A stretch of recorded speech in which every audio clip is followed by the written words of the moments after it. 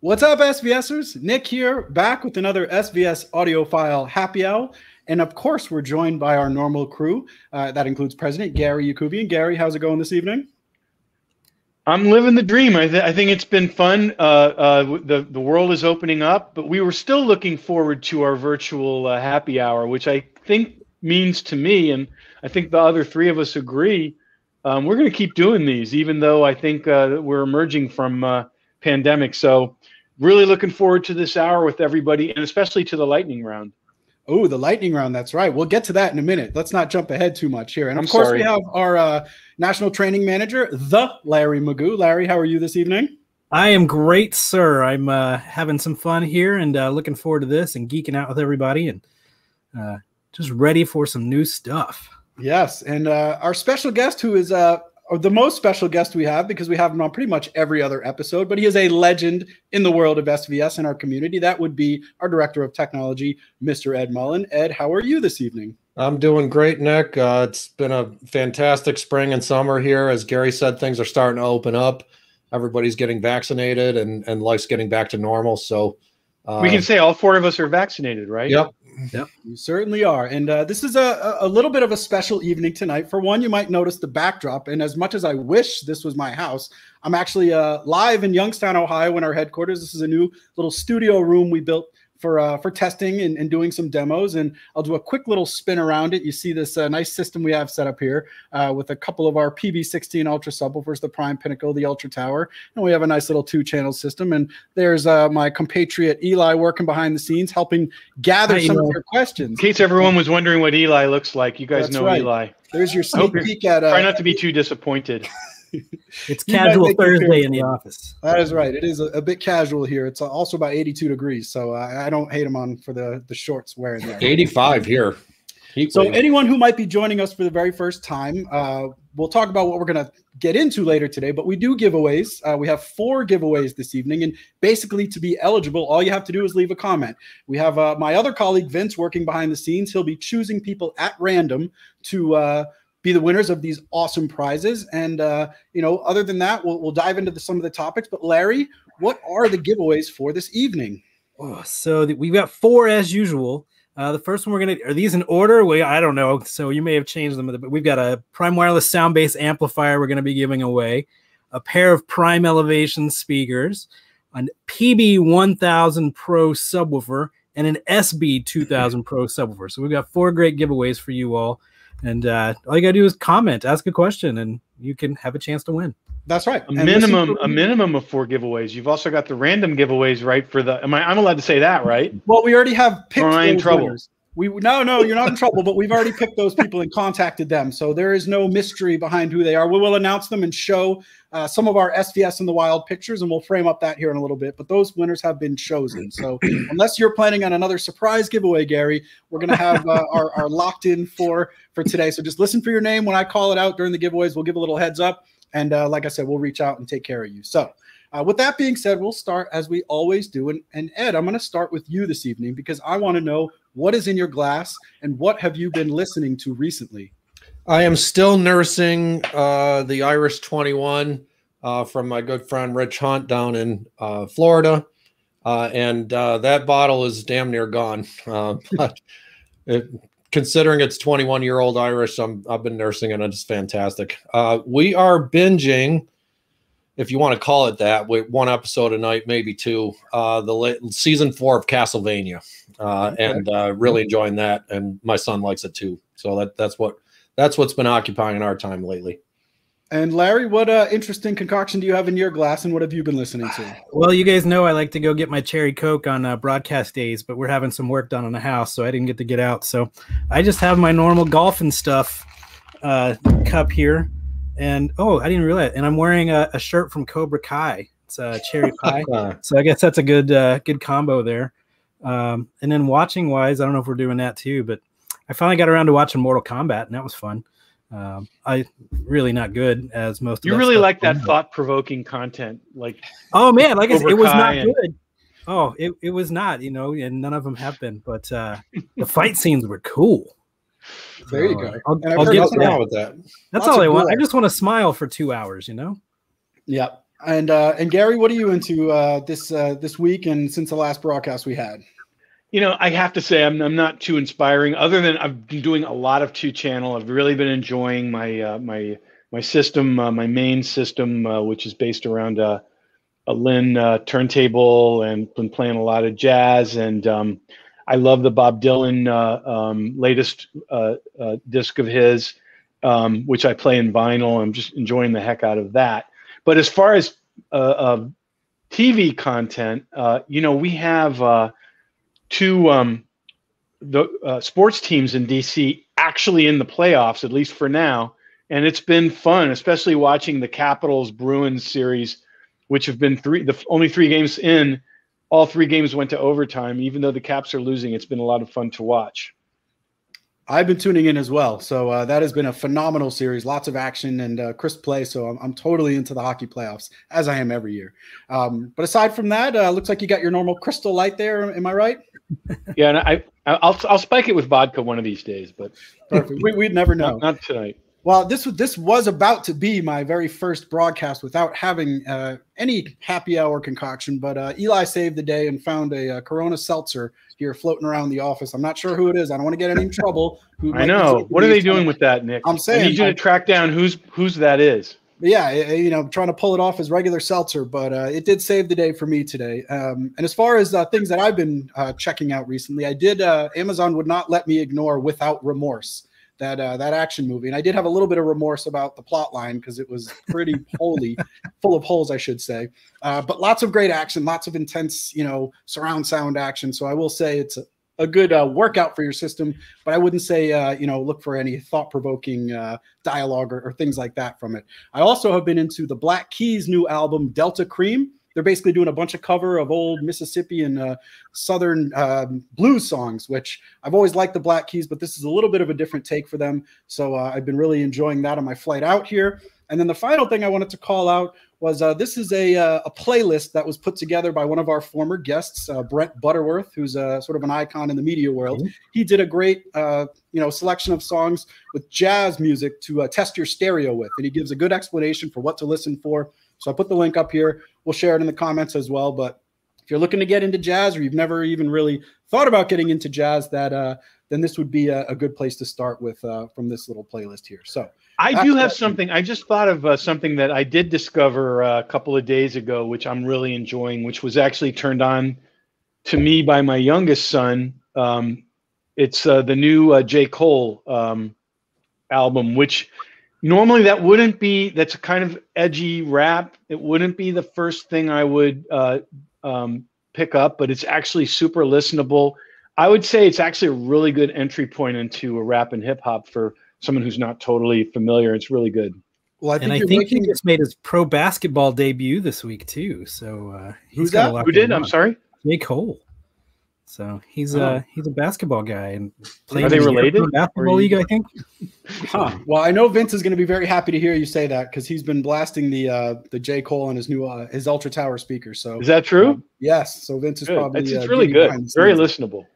Uh, so before we get into our lightning round q&a we did want to have a couple little uh, conversations here about uh, some things that are going on in the world. But the first one uh, and you'll have to bear with me here we did a, a little bit of a, a, fun exercise to show off the augmented reality technology that's on our website. And basically uh, what we asked people to do was uh, create various screenshots with their phone using the AR technology, which allows you to see basically the size of our products uh, within your home and within your system and how they match up with your decor. Uh, that's the practical use for it. But we asked uh, the folks to have some fun and uh, you know put put the pictures. I'm just curious from the comments. Uh, before you do this, I, am sure. watching the comments. I'm just curious from the comments. By the way, we're going to do the lightning round. Did we say this? Um, that you know people can be asking questions now and Eli is catching them in real time to make sure that we see them. So we'll we'll soon yeah. uh, we'll we'll yeah, so you can feel free to start peppering us with questions right now. That's right. Um, yeah, thank you for reminding me, Gary, because uh, that is true. Uh, Eli, that is his role right here. He is uh, working studiously, pulling questions. So we're gonna, you know, go through those as soon as we get through a couple little topics here. Uh, but absolutely, uh, ask those questions now, and we'll pull as many as we can, and we're gonna move in rapid fire fashion to get through as many as we possibly can. So, with that said, uh, we had a little fun with our uh, AR technology, as I was saying, uh, and we called it. Uh, oh, I, I, Nick, I'm sorry. I, am sorry. I, am you're going to kill me. I know. No, I was just hoping also in the comments, how many people have actually used the uh, augmented reality feature on our site? Has anyone seen it? It's really cool. We're wondering how many people are seeing it and using it. It's, it was. We actually went to a lot of uh, engineering and and um, investment to try to bring that to people so they can see what speakers and subwoofers look like in their living space. And it literally all you got to do is kind of aim it at your living space. It automatically sizes the speaker or subwoofer so you can see if it fits and how it'll look in your room. I'm just curious if people are using it. So i'm looking at the comments to see what what people uh, say yeah, no, that's a great point. I mean, when you're you're looking at a PB16 Ultra, for instance, it's good to know that that's going to fit next to your entertainment center, and so uh, the AR technology, you know, scales it to size and gives you that that sensation of uh, you know understanding how it's going to look and how big it is compared to your uh, other components and, and, furniture. So, um, or in the back of your truck, or in the back of your truck, or as we'll see in a lot of other places here when we have some fun. So, this is uh, what we were calling SVS uh, in the wild, and if you'll bear with me for just a second here while I get this slideshow up. Uh, this is uh, basically uh, some of the selection of uh, entries, and these first four were actually the winners of the contest. We chose people at random. We like to give everyone a fair chance. Uh, so, with that being said, our, our first winner here was uh, Anthony B, and it looks like he took, uh, I guess that's a PB three thousand, perhaps down to a, a concert venue. so that was our first winner there. next, good idea. yeah, he's getting us into the oh, pro space, even if it's only right. virtual. So uh, next we have uh, this one looks more like to be a, a, like truly SVS in the wild, and this was uh, from our uh, Brian Glynn from Instagram, who's uh, at Cigar Obsession. This next one here is uh, more of a you know in the yard type pick. This came also from Instagram from Grayson Tuttle at Grayson underscore Tuttle one, and then our final winner. and I know I'm not saying the prizes here, but you know I think that's okay. These guys have already been reached out to, and we're taking care of them. The final one here uh, added a little bit of production value to it. Looks like we have a SB1000 Pro there, and uh, you know, in the bathtub scene. So having some fun there, uh, you know, out in the uh, in the tub. So uh, moving right along, I'm just going to go through these. And, and okay, I'm impressed with that. Yeah, I'm going to go through these, and uh, if you guys have any uh, witty comments to make, feel free to add them on. But uh, we'll just kind of move through here and not spend too too much time before we do our first giveaway. So uh, yeah, this one looks like uh, I'm just hey. gonna move through unless you guys have something. We do have those for, photos. For a lonely SVS community yeah. member. so you can see you can play with the scale as well, make them smaller or bigger. Uh, you know, ah, that's my favorite so far. And those are not newts. What are they called, Eli? Quetzalcoatlus, those little lizards? I don't know. Okay, there you Looks go. like a transformer uh, to me. That's a Hulk Iron Man. That's a Hulkbuster. Yeah. You have an astronaut pick there. This one's at the dentist office. So somebody uh, had the foresight to uh, have some fun waiting for the dentist. This one would certainly make the neighbors happy, you know, having it on the front lawn there. This uh, few people took the chance of putting it next to their uh, significant other, but there was one. you go pumping some iron with the SB3000. She looks really happy about it. Oh, yeah, taking a dip here, running some laps there in the pool. There's some more production value for you. Nice. in the oven. Oh, that's kind of cool. I'm not sure what's going now, on. There's a massive piece of machinery. I'm not sure where this person works, but that's pretty cool. There's the hovering over the cat. Ah, Ooh, that's kind of like uh, Roadrunner and Wiley Coyote about to drop the anvil down on the cat. Huh? Taking another float in the pool there. Micro enjoying a uh, playground session. We're almost done, Gary. Don't worry. Here we go. I'm, I'm, here. No, you were fine. Just scratching my head here, but these There's are the dishwasher. Uh, you know, why not replace the dishwasher with a subwoofer? And I think we're we're getting towards the end here, and there he is with the sidewalk next to a bike, and back to the beginning. So there you go. So what we're actually going to do is uh, I'll take this off now. All Buster wins, in my opinion. We're going to put a whole slideshow of all the submissions because that was just a, a, handful of some of the ones that we thought were really fun. But there's a lot more there. Some people actually used it as it's intended to, which you know, putting it in a uh, you know an actual home theater setting. But uh, I love what you guys did with SVS in the wild. Thank you so much for uh, making that as fun as it was. And uh, we'll we'll do something else similar to that here down down the line here in the uh, the future. And but uh, again, I actually see the person commenting that that was their cat too. So awesome, they're here watching as well. Um, with so us. with that being said, I think we're probably ready for our first giveaway. Before we have uh, one more thing to talk about here, and uh, as Larry alluded to at the beginning, uh, we are giving away a Prime wireless sound base, 300 watt two channel amplifier, Wi-Fi and Bluetooth enabled all the connections you need to power everything in your system. And our winner of the Prime Wireless Sound Base is Randy Hyde. Randy Hyde, congratulations. Awesome. Mr. Vince will reach out to you behind the scenes and make sure we get your information and ship that out. So, there was a, an interesting news announcement this week that came out that uh, I thought would be interesting because I always see people asking about Dolby Atmos in music and, and whatnot. And basically, the announcement was that Apple Music is now going to support Dolby Atmos and high resolution. So, Gary, I wanted to get your take on this sort of uh, first and then kick around some of what we've heard about this and, and, what we think the implications are for the future of audio. Well, you know, the first high resolution uh, streaming service was Tidal, um, uh, which made a big splash, you know, and was, was uh, purchased by uh, Jay Z's company. And, and, uh, now we have Qobuz, which we, we're huge fans of Qobuz. And Amazon Music and now Apple Music and Spotify actually announced it, and then it seemed like they didn't follow through. It looks like we're getting that echo again, Nick. Just FYI. Um, it, um, but actually, I saw uh, on a thread that Spotify somebody found a phantom button for it on their Spotify app or or somewhere, and and so it looks like it's imminent with Spotify. Uh, I don't have inside information about that, but uh, they've certainly announced it. So to me, this is fantastic news. Everybody knows that the uh, lowest common denominator of uh, streaming music is is uh, not optimal. It's not it's not as good as a CD. It's not even close to as good as a CD. And now we're talking about beyond well beyond CD quality.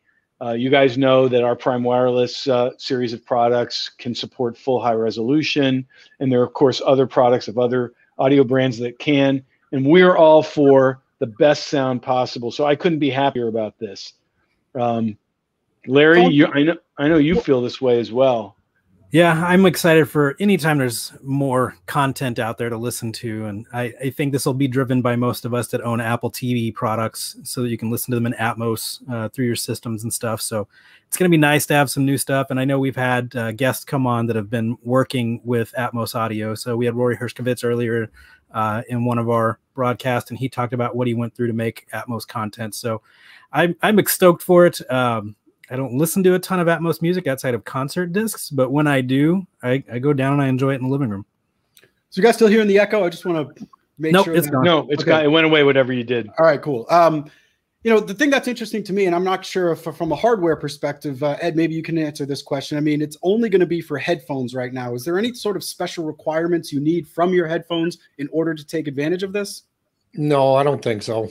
Uh, conventional headphones will work fine it's really just in the mix. And one of the interesting things that I was reading about this, uh, so you know, part of the technology, at least with the uh, Air Air Pro Maxes is they're going to have like gyroscopes in them. So if you turn your head like this, then the sound will actually alternate depending on which way you're facing and adjust based on that, which I thought was really cool. Uh, not all headphones obviously will have that technology in them, but certainly, like you guys said, the implications for uh, for immersive listening and getting people more in tune to this kind of thing, it's only going to be good for uh, I think home theater and people wanting to adopt these kind of systems at their home. So it's not only a private listening session with your headphones. You can now bring this, and it gets them more interested and sort of starts people down that road. So um, I also they, think it's a really big uh, announcement on Apple's part. Um, I don't want to be uh, coming at it from a negative place, but I don't think Apple has been fully invested in the best possible sound in their ecosystem. And now I see um, Apple TV fully supports Dolby Atmos. I have a brand new Apple TV 4K, the brand new one that just started shipping coming tomorrow. It does a lot of cool things, supports the full uh, uh, 4K um, uh, array of, of uh, picture enhancements as well. And um, their headphones and their Bluetooth connectivity, they've never fully embraced high resolution transmission. So to me, that they're making this announcement, they're sort of finally signing on for enjoying music, uh, two channel content, and home theater content in its full uh, to its full potential and to the uh, faithfulness to the to the ultimate uh, uh, quality of the content. So this, since more than half of us own iPhones or iOS products, it's a huge moment for great sound. Love that. Yep, I think it's very well said, and uh, you know, I, would love to hear in the comments if people once they start ex- uh, experiencing it. But we're going to look to try to get a guest on who can really speak to this in terms of the uh, mixing and mastering process, um, and uh, you know, really dive into this because I agree with you, Gary. This is big news, and it's something that's going to keep sort of snowballing. I think with other content providers as they add on more uh, more types of uh, content like this.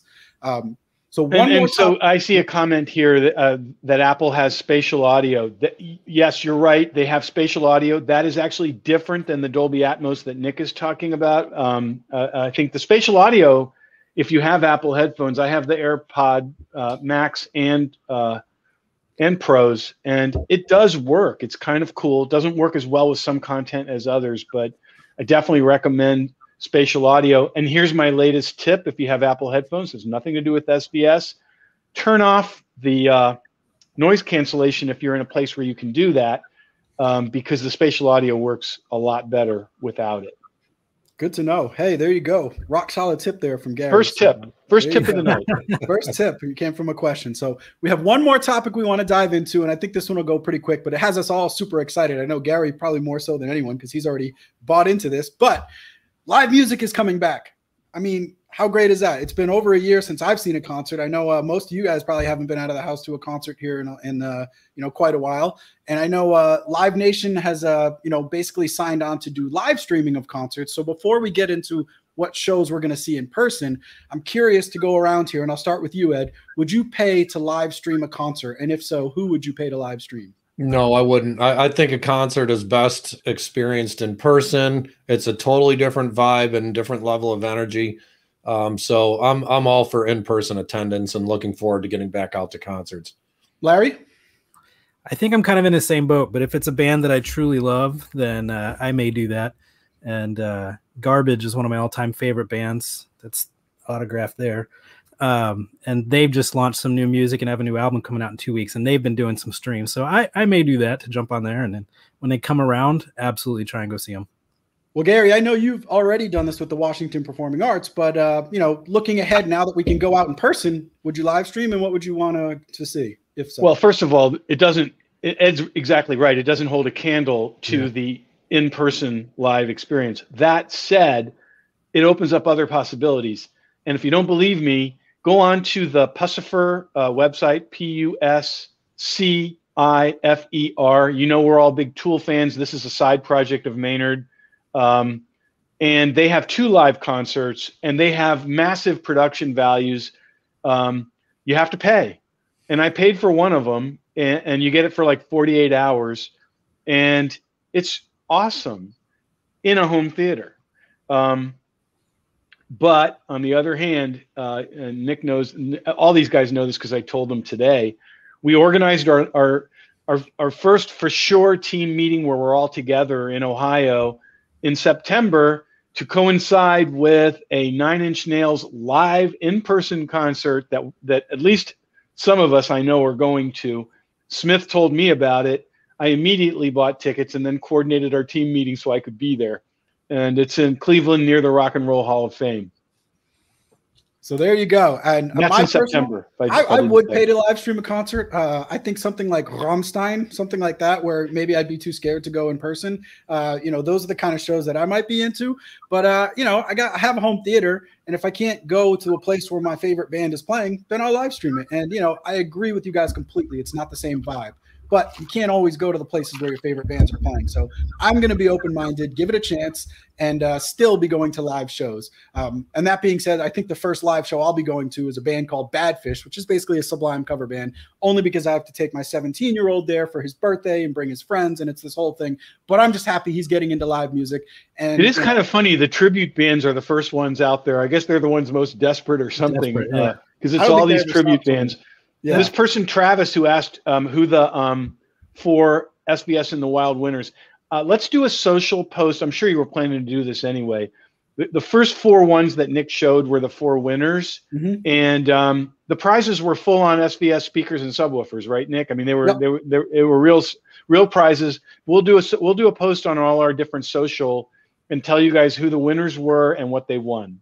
Yep, uh, there was Prime Wireless, Prime Bookshelf, SB1000 Pro, and, and I believe the last one was uh, an accessory. But uh, Vince has been work reaching out to all those people. We're going to try to get pictures. We always love when our winners send pictures, whether it's just still in the boxes when it arrives or after you have it set up. But uh, we'd love to do a slideshow of uh, of the winners, and then you know same thing with uh, anyone who who gets prizes here tonight.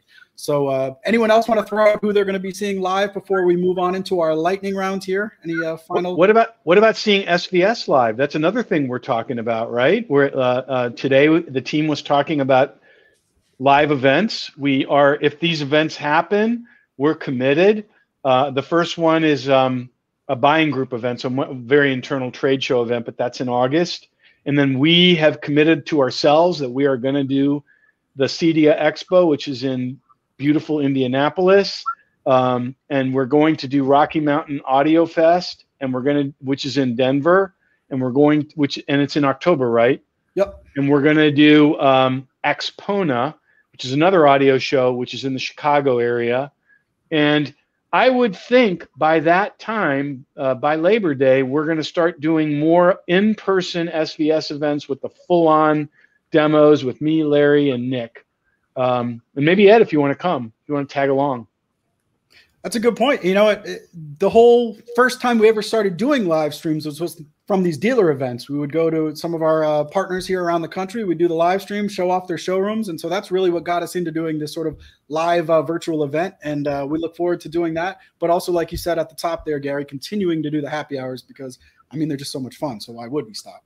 Um, so with that being said, let's do one giveaway, and then I know the questions are stacking up. Eli's there uh, furrowing his brow as he's copying and pasting here. So oh, I see. Why am I doing this here? This is great. I know they're they're coming in fast and furious. So with that being said, uh, you know, in unison with our conversation about Dolby Atmos, our next giveaway is our Prime Elevation speakers, which have been called the best Atmos speakers in the world. And our winner of the Prime Elevation speakers is Mark Santora. Congratulations, Mark. Mark you got Congratulations. some sweet surround or height effect speakers coming your way.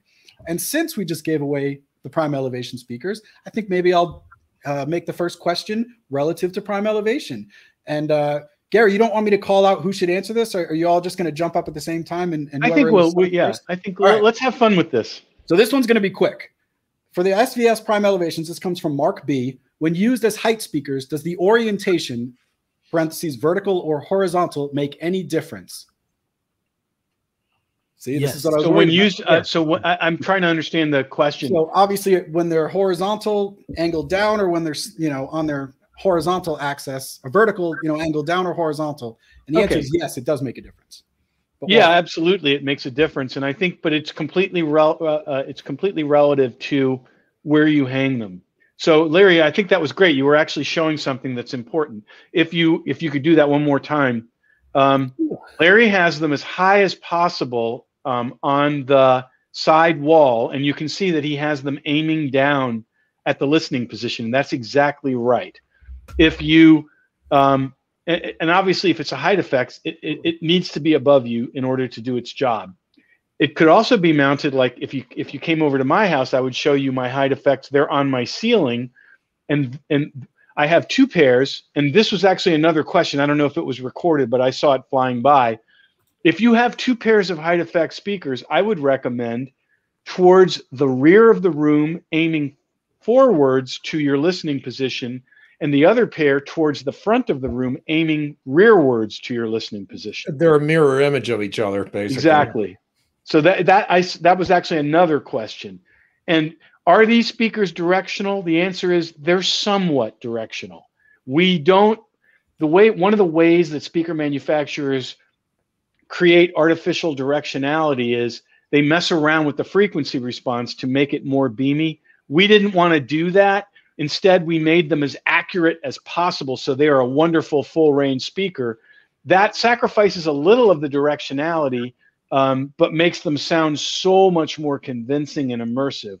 So that's that's what we did. Uh, it's always good to aim them towards your listening position. And I would I would say the the part about horizontal, if it's up near the ceiling, like Larry showed, you don't want to do that because you're going to get some bounce right off the ceiling That's and right. what's left of the sidewall. So uh, the horizontal configuration works best if it's actually being used more like a surround or surround back speaker. If it needs to be mounted low on at head level, then you could have it mounted sideways without any uh, you know ceiling diffraction issues. Okay, someone named Keith is asking, can you place them on top of your tower speakers? And what Keith is asking is, can they bounce off, can they aim upwards off of your tower speakers, bounce off of the ceiling, and come back down to your ears? Well, that's exactly what we don't recommend. And, and I'm not trying to give Keith a hard time because Keith has been hearing about this approach from a bunch of other uh, speaker companies and the the premise is that if you make the speakers super directional, and the, again, the way you do that is by crafting their frequency response. Uh, uh, ba- ma- basically, make their frequency response less accurate. Roll off some of the bass, roll off some of the high frequencies, so they're more beamy. Then aim them up at the ceiling, and the idea would be that they're going to bounce down to your ears, and it's going to sound like the sound is coming from above you. Well, it's a nice thing to talk about. It makes it really easy to place them. The problem is it doesn't really work very well. And it also rolls off the sound so it's not as convincing and immersive. And, uh, and you know, how many people have a perfect ceiling where they would bounce down to your ears? Probably almost no one. But also, it's very you, you can't really beam the speakers straight up to the ceiling. There's also going to be plenty of sound coming at you right from the speaker to your ears. So prime elevation really was uh, Smith and me saying this doesn't work well. Let's figure out a way to make a height effect speaker that really works well and aims down at your ears. That's what prime elevation is. Great points. Uh, so our next question comes from Dennis Rainey, and uh, this is relative to SVS speakers, but I think it applies to really any speakers out there. He says, "I have an Ultra Center and would like to know if I need to pair it with SVS speakers for the front in the fronts to get the best sound quality." Ed, I'm going to throw this one to you. Well, the answer, short answer is yes. You, you do want timbre matching and tonality matching. If you have uh, uh, speakers with drastically different uh, tonal quality for the sides, you're just not going to get a good blend across the front stage when sound effects pan from left to center to right. So it's always best to have matching speakers on the front stage. That's a great point. That that said, I uh, one thing I always say, you know, and I, I first of all, I totally totally agree with Ed, but I will say that we worked so hard with our Prime and Ultra series to make them um, very Neutral. accurate and and and not you know sort of like oh they're a really warm speaker oh they're a really bright speaker oh they're a really soft sounding speaker. we tried really hard not to make them with a particular sound but just just as accurate as we possibly could make them for that reason they work better as a matchup to different brands than a lot of, of speakers would. And we always say that about Prime Elevation. I mean, why is Prime Elevation so popular? It's our most popular speaker. Well, the the answer that maybe I should be upset about, but I'm not, is Prime Elevation is matched up with lots of other brands of speakers, yeah. and it does it does a good job. As as would our Ultra Center uh, if if you didn't have SVS speakers, it would work. So would our Prime Center.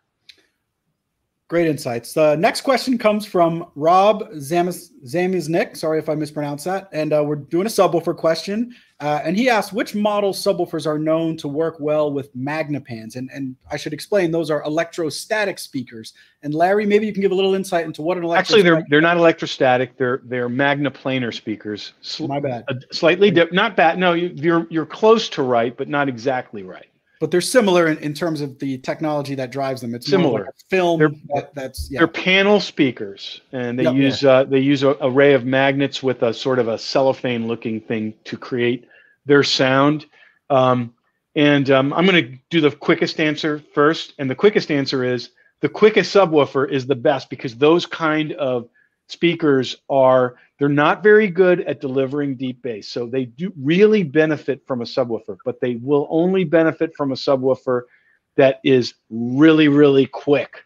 So even among, I think SVS subwoofers in general are very quick, but I would not recommend one of our ported ones. I would say you absolutely with with um, Martin Logan, the sealed ones, uh, excuse me, the uh, uh, Martin Logan uh, electro- electrostatic speakers with um, quads, with magneplanars, um, you would want to use one of our sealed box subwoofers. And they will complete the picture because those speakers, even when they're massively big, generally don't have a ton of bass. Yep.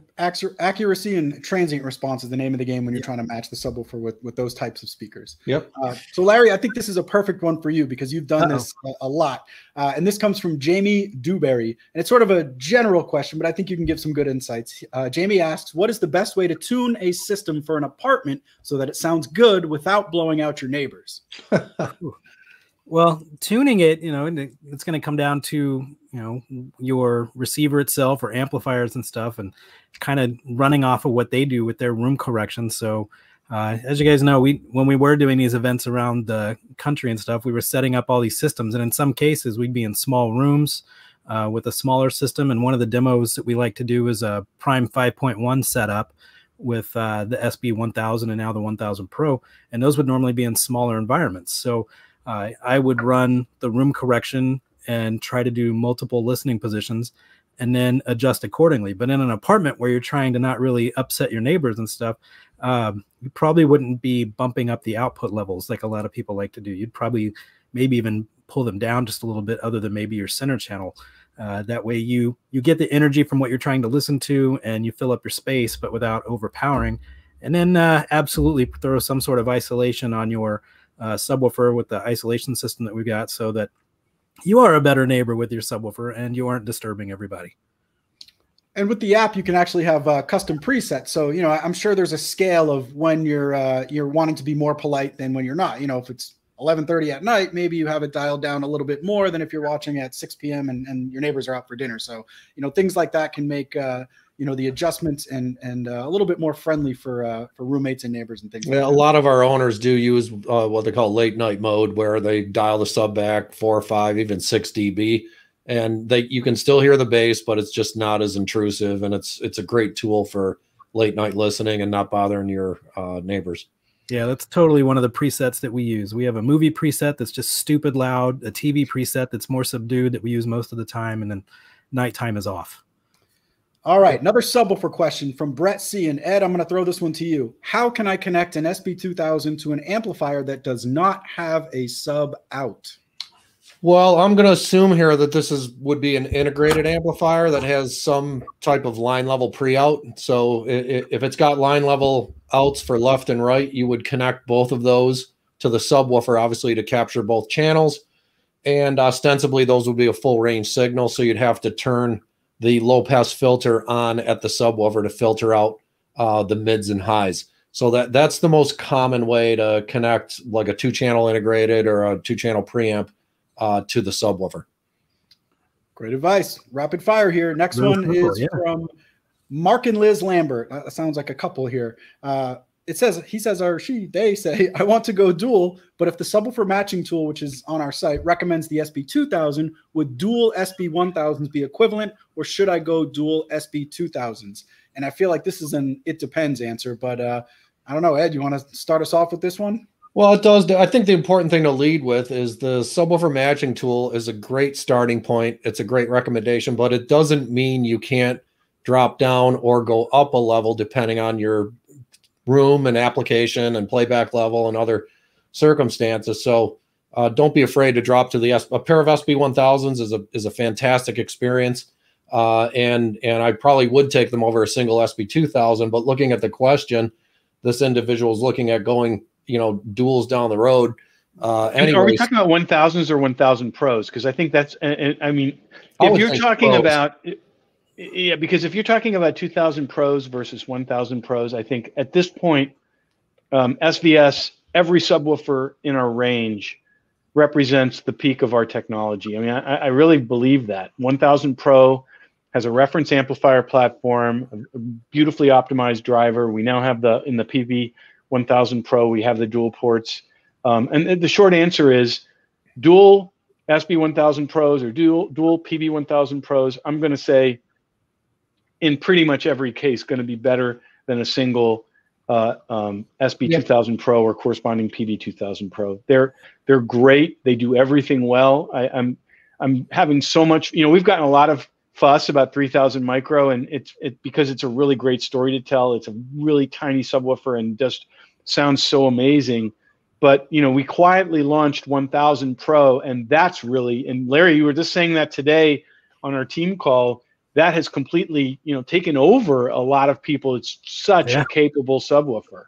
It is. It's such a cool piece. And to see the response to the series as a whole but also the ported model in the 1000 pro has been insane because it's it's at price points performance stories frequency levels that you don't see in the 599 realm.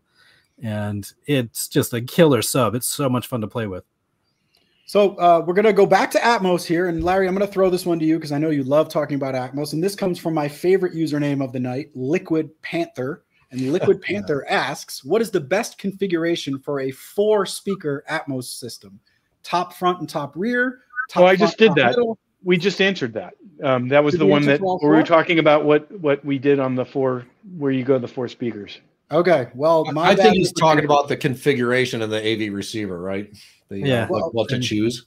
Oh, okay. I, I'm sorry. I didn't think of it from that place. Yeah, Larry yeah. could do that, or Ed it's, could. Yeah. So I like if I'm doing a single, I, I tend to do middle. Uh, I do top middle if I'm doing a single pair. But if I'm doing doubles, I I I think this is really dependent on your room and a personal preference. But I I do tend to do um, a a middle and a rear in that case. But other people might choose to do a middle and a front or a front and a rear. So it's really going to so come down to your rear. rear. But you know, yeah, I also think it depends on the brand. And so yeah. one thing I would say, this is a great reason to pick up the phone and call us because this is what Ed and his team do 24 7, day in and day out. They know all the brands of all the uh, AV receivers and the preamp processors. And so um, I would call if you have any doubt about the optimal way to configure yeah. it. I have a, a, right now. I'm using. I've used pretty much every brand at this point. I've um, I'm using a top of the line Denon receiver right now in my my theater, and I prefer um, two front and two rear, aiming towards the listening position. But everybody, every you know, different brands are different, and different rooms are different. My yeah. my system's configured that way also. Uh, mine's top top front and top rear. Yeah, uh, as opposed to you know, there's other configurations in the AV processor that might not result in as optimal uh, of sound delivery. So, like like Gary said, we would look up the specifics of it, see what options are offered, and then tell you the best uh, configuration for yeah, uh, your room. It's There's a little weird that it's so confusing, but yeah. it's good because it gives Ed and his team something to do. Depending on the brand of your receiver, you may not even have a middle option. So it may just right. be front and rear. So that's it's all really dependent on a lot of different factors. So, Gary, we have a, a philosophical question for you here from uh, Ryan Robinson. Uh, maybe it's not philosophical, but it speaks to our philosophy at SVS. What was the inspiration that caused SVS to branch out into speaker design and creation and not just stick out with subs? Um, I mean, we always have done what we do because we're passionate about great sound, and and we've always done uh, in terms of our products if it if there's no need for it, we won't do it. I've been asked to do products. I could name the categories, and I'm like, why do you need SVS for that? There's one out there. It, it's perfectly good. Um, you don't need us for that. We felt there was a need for high performing uh, reference level of performance in speakers that was within reach of normal people, and um, we had some just awesome. I still have awesome um, speaker designers who are excited to do it. Uh, and, um, you know, it's worked out really, really well. Um, I'm almost, I was going to bring it up today. I brought it up to the team today. I'm almost to my 10 year anniversary. It'll be in a couple weeks. So maybe we'll be together on that day, depending on when it, when it is. Um, when we started 10 years ago, uh, this team, although Ed was here before me, um, we definitely transformed things together, right, Ed? We sure um, did. We didn't, we didn't, um, have speakers, but we saw a huge need for speakers and we brought in some really state of the art speaker designers. We didn't use subwoofer. One of the big mistakes subwoofer companies do is bring, they think they know everything. And so they use their subwoofer designers to design speakers. We didn't do that. We brought in some of the top speaker minds in the world, and um, it worked out really, really well. Uh, we're, you know, one of the top five search for speakers in the world now, and we listen. We have not stopped. We're, um, I'm really excited about what's on the horizon with speakers. We're working a lot on that, so stay tuned. Don't say, yeah, I was going to cut you off there, Gary. I, I know. Like to, uh, Nick is going to kick me off the call float float out. A, oh, he got show. muted. How did that happen? Your audio cut out, Gary. Oops, sorry. uh, but I think we're due for another giveaway. And then uh, Ed, I got a, a, good question for you here that uh, okay. actually is germane because I was just playing around with this today. But uh, the next prize we're giving away is uh, one that we've been talking about today, Larry, you specifically, the PB1000 Pro subwoofer, which has quickly become one of our most popular products. And the winner of this beast of a subwoofer is Kevin Breeze. Kevin Breeze, congratulations. You get a awesome Pro. Congratulations, Kevin. Way. Fun times for you ahead. So, Ed, this question comes from Chris Alquist. And I was actually doing this today uh, while Eli was shooting video. And Chris Alquist asks When doing the subwoofer crawl, which I think you should explain what that is, uh, the subwoofer should be placed in the listening position. Does it matter if it's on the elevation of the listener's ears or can it be placed on the floor? Well, I ideally you want it at the listener's head elevation because there is a floor to ceiling standing wave pattern that develops and you would take that into account. Ed, why don't you explain what it, explain what it is because not everyone knows. So the subwoofer crawl is you put the subwoofer at the primary listening position and then you crawl around the room, uh, hence the term, with your head down near the floor where the subwoofer would be, and you listen for the best bass. When you find the location where it sounds the best, you put the subwoofer there because the room acoustics are reciprocal in that sense. So the question here is when I put the subwoofer at the listening position, can I leave it at the floor or should I put it up near head level? Ideally, you want it at head level. Most people can't accomplish that, so they just plop it on the uh, on the seat or the couch, and I would call that good enough in most if cases. you need to do the subwoofer crawl i would suggest call ed and ask him to come over and hold the subwoofer at ear level for you. to say. yeah. Get him buddy to hold that's a pb16 ultra. Yeah. Yep. he loves that kind of thing. He does house get your hulkbuster out. Yeah. Yeah hulkbuster will hold it up for us. Uh, so the next question comes from uh, Dan Christosek, and uh, this one I think can be generalized, uh, you know, without the brand, but it's basically is my Emotiva XPA amp too much power at 300 watts for the SVS Prime Tower. And Larry, we think- Gary, Gary, we just answered this one the other day for uh, yep. Someone. We, well, we do it. You can ask us these questions one on one. Ed and I are on, all on the case, right? So, but the question is essentially: Is it possible to overpower your speakers? And uh, you know, I'll throw this one out to whoever wants to answer it. Larry, I think Ed, Ed has a really good answer yeah. for this, and then you can pass it to Larry or, or whomever. But Ed's answer is the right answer you know, an underpowered amplifier is actually more dangerous than uh, a, a, powerful one because the tendency is to drive it loud enough to drive it into clipping, and and clipping means it's square waving the signal. That's very dangerous uh, uh, to the speakers, especially the tweeter. It can burn it out quickly. Um, so when you lash a, a very powerful amplifier to the system, you're not necessarily playing it louder than you normally would. Um, so what is the real benefit? The benefit is that the amplifier is not being driven into clipping at your normal playback level. So it can hit those transients very cleanly. It always sounds very authoritative and dynamic and unstressed. And that sounds great. And it's not going to damage the speakers at all. So I would say you're you're totally fine uh, with with that with that amplifier and the prime towers.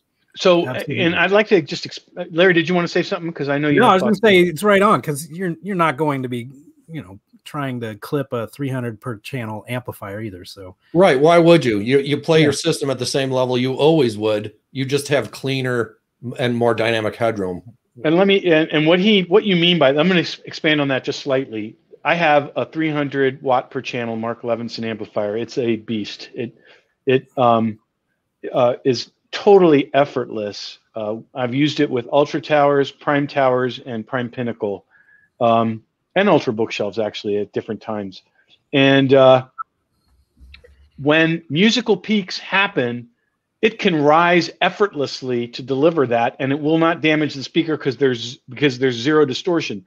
Right. If I had a cheap, uh, you know, 75 watt, uh, uh, I don't want to say cheap, a low low quality 75 watt or 50 watt amplifier and I tried to do that, it would distort, and the distortion is like a squaring off of the sound wave, which is imagine a kind of grabbing your tweeter diaphragm. That's the part that moves and sort of jarring it, and that's what that's what blows speakers. But I will say, Ed, and you you can disagree with me. Um, you you you've been doing this. Well, actually, I think I've been doing it longer than you, but I'll let you disagree with me anyway. Is sometimes if you're if you're having a party or you're just doing something where it's literally three hours at top volume, the voice coil is moving at top volume, especially with, with like something like techno, hip hop. The voice coil is moving at top volume for such an extended period of time, it can generate heat and damage the speaker. So the best way to avoid that is give your speaker a and I'm not talking about SVS, any speaker when the voice coil is vibrating at top volume for an extended period of time, give your speaker a 5-minute break to cool off. Turn it down for 5 minutes every half hour or so. And I'm not talking about any brand and uh, the voice coil will cool down and then you can go back up to your hip hop at whatever level you want or techno or any music that has extended the same high volume all the time. Ed, want to dispute that or do you agree with no, that? No, it's 100% true. If, if you're just like constantly cranking music at super loud levels, even if it's clean, you could build up a, a high thermal load on the voice coil and potentially damage it. So, uh, you know, ham fisted users of 300, 500 watt amp, sure, you could toast the speaker, but under normal conditions, you wouldn't. Uh, and it's good advice. You know, turn the system down to a more moderate playback level, give the speakers a chance to uh, recover. And I'm only talking about like top volume. I'm not talking about, you know, a normal home theater experience where you're right. jamming and you're having a great time. I'm not telling you not to have fun, have all the fun in the world. But when it's just like mega disco level volume over and over again, then just give it a little break every half hour and you won't have a problem. Yep. Wonder how many people when we're, actually have been to a disco before. That'd be, uh, good to know. Comment if you've been to a disco. Uh, next question we have. Is there no more discos? What are they? There's clubs. Was that like when I when I said listen to AM ra- and FM radio and you said what's that? It, does, yeah. it doesn't exist anymore. We'll, right, we'll throw right. disco into that into that category. don't judge. Nick, I don't need any help feeling like an old man. It's, it's really easy for me. You know what it's I like falling off a log for me to feel you know, like. You know what I learned? The term for my generation is now being called geriatric millennial. I'm a geriatric millennial, so that, that's us. That, that, that hit me right right here. So I'm a am a youthful boomer. Yeah, yeah. See, what, what sounds worse? Uh, but anyway, I think they they both sound pretty Gen X. So I'm a millennial and a geriatric. What's worse than that? Uh, no, I'm just kidding. We Somebody said Thermal Load, the great all... new band name. Yeah, there you go. Uh, all right, Larry, I thought this one's perfect for you. Uh, Dan OS asks, "Is there such thing as too much subwoofer for a room?" Never. what does that yes, like? they, there totally can be. Um, but uh, yeah, there there absolutely can be because it can be unbearable to be in a room if you've got just too much in there. And what you'd end up doing is sacrificing the subwoofer itself by having to dial it back quite a bit. But also, um, it can also take on the space at lower volume levels, um, give you more capabilities too. But you know, we, we will never let you overdo it if you contact our sound experts team. We will walk you through uh, what your speakers you're connecting them to, find out about your room, and we won't over recommend. We will. You know, duals are way better than a single. Yeah. Everybody knows that. Uh, I would say you reach a point of diminishing returns. Anything over four, you know, some people will put a, a subwoofer in each corner. You get very uniform distribution of the bass. Anything beyond that's kind of crazy. And and honestly, duals will give you 90% of that experience anyway. So yep. uh, I, I, think re- duals really hits the sweet spot uh, when you're talking about uh, multiple subs. So on that note, this kind of brings two of our previous questions together. Nicholas Dunn asks, does the subwoofer crawl work with multiple subwoofers?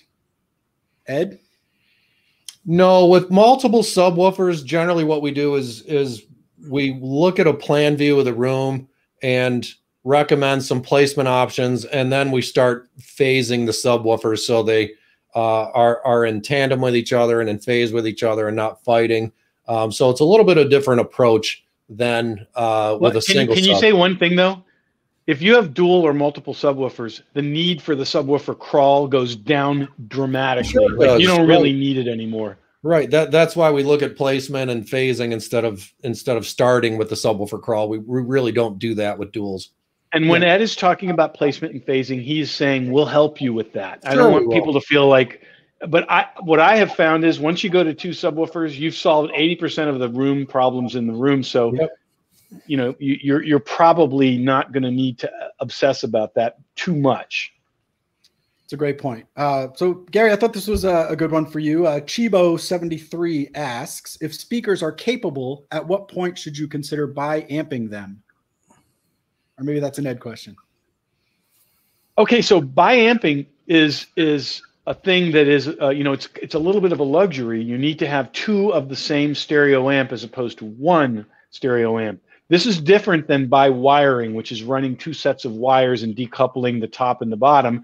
And for those of you who don't know what bi-amping means, if you look on the back of your speakers and you see two pairs of inputs instead of one pair of inputs, that means they're probably bi-ampable, which means they probably have a, a bridge or some kind of wire connecting the two pairs of inputs. You can separate them and then if you have identical amplifiers with identical, uh, best case would be the exact identi- identical pair of amplifiers, then you can drive the, the higher frequencies and mid range with one of the amplifiers and the bass with the other. And there's a general sense that the speaker opens up, becomes more effortless. Maybe it's going to image a little bit better. Um, I'm trying to remember what the person was asking. Is he asking what the benefit is, or or uh, he's at what point does it benefit you, the speaker, or your experience to actually do it? Like, at what point should you say now, you know, this is worth it versus you know just wiring them normally? I mean, I personally, you know, I've done bi-amping and I've done bi-wiring and I've done what I have right now, which is just a totally kick a asterisk asterisk amp. Um, and I prefer the latter. I, I, just have I just get a single best amp that I have in my budget. In this case, the budget you know, was was was kind of high, and and I got a really really high performance amplifier. I can't imagine replacing that with two amplifiers and improving the performance. No, you, you you wouldn't be able to. I think the real benefit for most users, if they have an AV receiver that has a spare amp channel and can bi-amp, you're just doubling the power going to the speaker, and then you're going to get the same benefit a more effortless presentation, more dynamic headroom, uh, and that's really the the primary benefit here. Or as Gary says, you could just step up to a single more powerful amplifier and have the same effect. Good insights. Uh, Janine Taylor. Asked, I mean, this is a, you know this this kind of. I'm sorry, but it it does inspire me to say, even for us, Ed and I have been doing this forever. Larry's been doing this forever, and even for us, it's still a journey. It's still fun trying different things, trying bi-amping, trying. Uh, uh, I mean, I just had the greatest fun experience that I've had in a long time, just um, adding a new cartridge and um, a new power supply to my turntable and and hearing the differences and, and it's fun. And you you don't have to do it with super high end stuff, but but it you know you were blessed with the best measuring instrument that there is for sound, which is your two ears. Play with them, have fun with it.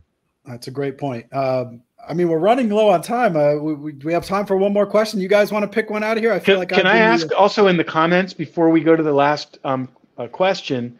Tell us in your comments. Should we keep doing this lightning round thing? I, I, if you guys are having as much fun as I am, and I think Larry and Nick and, and Ed are, we'll do this again. I, mean, I, I, can tell that there's there's so many questions we didn't get to answer. We're gonna have to go through, and we always say, you know, we're gonna pick uh, some of them, and we generally do. But I, I, like this rapid fire approach. The lightning yeah. round certainly gives us a little bit more to you know leeway to bounce around and cover as much as we possibly can. And just everyone's saying yes. Yeah, everyone yeah. just asking about bi wiring and, and bi amping alone. You know, there's a lot of ground we could even cover there. Um, so I think this is a, a good one about uh, dual subwoofers. And Michael Jager asked, is there a way to equate two smaller subwoofers to one larger sub? For example, two 1000 pros are equal to the output of a 2000 pro or a 3000. You know, is there sort of a, an algorithm that allows you to determine, uh, you know, what the output is going to be in the low frequency extension, anything to that effect? Well, the X Ed factor, I'll let Ed, Ed can answer this, and yeah. there are there are numbers, but the but the X factor is the room. So you know, if you have a single, we could tell you the math of it if they were outside on your backyard the math of it. There is a math to it, and we could tell you that. But the reality is, the room is such an X factor that two is always going to trump one, no matter what the math says. Ed, want to disagree with me? No, I, I agree. If if anybody has a specific question about two models, they can reach out to our team of sound experts. We do have the numbers; we can run them for you. Um, but you know, as as Gary states, uh, uh, I, I, like duals over a single anytime, uh, and, and, I'll I'll take the you know two. And you're not saying to over. spend more money, just to just to stress. You're not saying to spend more money. You're saying, you it's know, just a better experience. Yeah. Me, but you but you you might tell somebody I would prefer to see you get two SB1000 Pros than a single uh, uh, PB3000 or SB3000. You might say that because of the room and the, the ability. And now that the technologies are so aligned, it's um it, it it's you know unless the room is absolutely just problem free, that's good advice. Would you agree? Right. Yep, absolutely. It's it's very much application specific. So we look at the room, we look at the layout, we look at available uh, floor space, and we make the best recommendation. But uh, you know, duals is really, you know, you can't lose uh, when you're going duals. And I so, get notes from customers all the time telling me Ed's team told them to get something less expensive than they were asking about.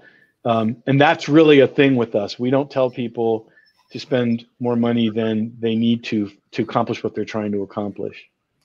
So, last question before we get to our final giveaway. This one comes from AJLG, and uh, they asked. No, I saw it, and the answer is no. All right, never mind. What? What? I'm sorry. What is it? What is it? AJ wanted uh, Ed and I to shave our heads and our beards so we look like you. well, they won't look like me. They'll, That's not. We know they'll be much yeah. better looking than me. Why, why I think he's. In there? I think he's goofing on me. I think Gary should grow a beard.